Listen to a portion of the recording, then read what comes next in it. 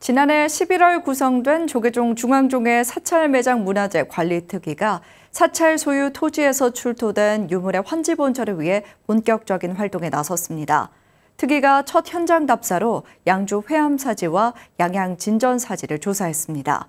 조계종 종조 도의국사가 주석했던 진전사지에서는 2017년 국보급 금동 3존불이 출토됐지만 강원도 소유로 환지 본처하지 못하고 있는 상황입니다. 최승환 기자가 보도합니다. 위원장 호암 스님을 비롯한 조계종 중앙종의 사찰 매장 문화재 관리를 위한 특별위원회가 궂은 날씨에도 양양 진전사지 곳곳을 둘러봅니다. 조계종 종조 도의국사가 주석했던 곳으로 의미가 특별합니다. 특히 2017년에는 진전사지 석탑 주변에서 6세기 후반에 제작된 것으로 추정되는 국보급 금동 3존불이 출토되며 큰 관심을 모았습니다. 하지만 발굴 이후 강원도 소유로 국립춘천박물관이 소장하고 있습니다.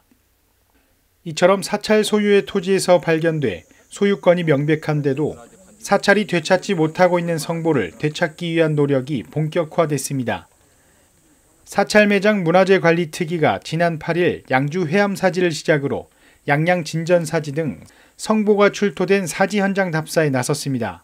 얼마 전에 회암사의 3대 화상의 고도전의 사리구가 보스턴 박물관에서 100년 만에 한지 본출을 했습니다.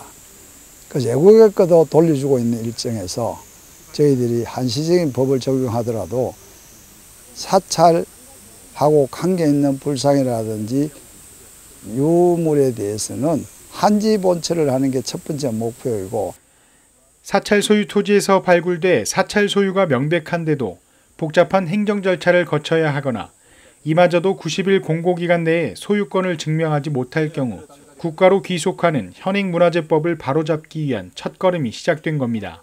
이 부분을 가지고 여러 학자님들 의논을 하고 자문을 받고 또 국회에 가서 이 부분을 말씀을 드리고 저희들 발표도 하고 해서 국회에서 입법부에서 한시적인 법을 적용해서라도 바꿔보려고 노력하는 그런 절차를 밟고 싶어요.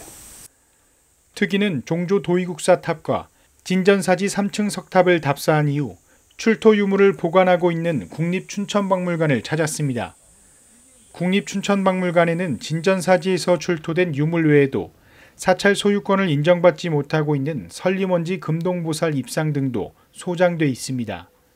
특위는 총무원 문화부, 불교문화유산 연구소 등과 연계해 권역별 사례를 취합하고 법안 개정 등을 통해 매장문화재가 성보와 예경의 대상으로 환지본처할 수 있도록 노력을 이어간다는 계획입니다. BTN 뉴스 최승환입니다.